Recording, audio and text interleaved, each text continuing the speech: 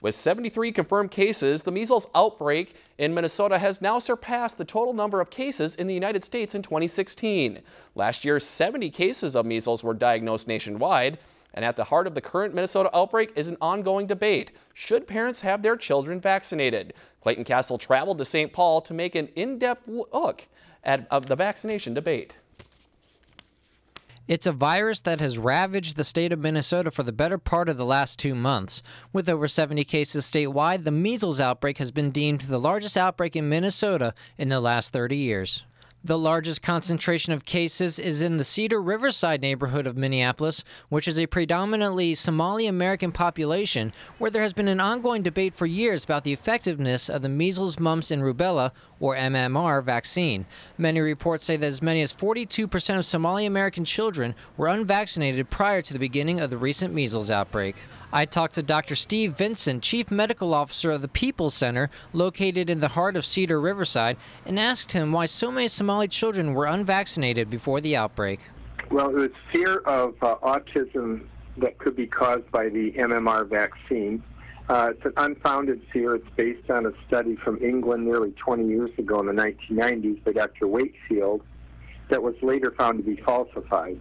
Leo Cashman of the Minnesota Natural Health Coalition, an anti vaccination advocacy group, states that the MMR vaccine still causes autism. There have been findings of uh, the vaccine type of measles virus in the intestines of children with autism. And this is what has been found in Minnesota in the Somali community. They find that uh, there is an onset of some kind of vaccine injury. It might be autism, it might be encephalitis. The child loses the normal ability to speak. The Somali community has noticed this and has observed it and talked about it and uh, gotten more information about it. Now, after hearing the claim that the measles, mumps, and rubella vaccine causes autism, I came here to downtown St. Paul and visited with Kris Ehresmann of the Minnesota Department of Health and asked her if there was any merit to that claim. There have been a number of studies, so multiple studies by different researchers using different methodologies and performed in different places that have all refuted a link between vaccines and autism.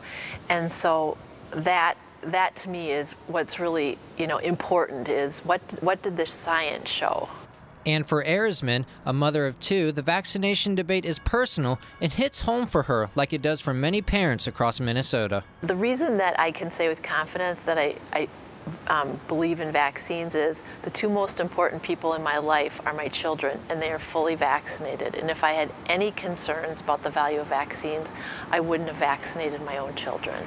In the end, the light at the end of the tunnel could be near for the measles outbreak, as the rate of confirmed cases has slowed down drastically in the past two weeks. However, signs are pointing to a much longer vaccination debate, which will outlive the 2017 Minnesota measles outbreak. Reporting in St. Paul, Clayton Castle, Lakeland News. Symptoms of measles include runny nose, cough, and fever, followed by a rash spanning the entire body. Among the 73 cases of measles in Minnesota, four of them are in Crow Wing County.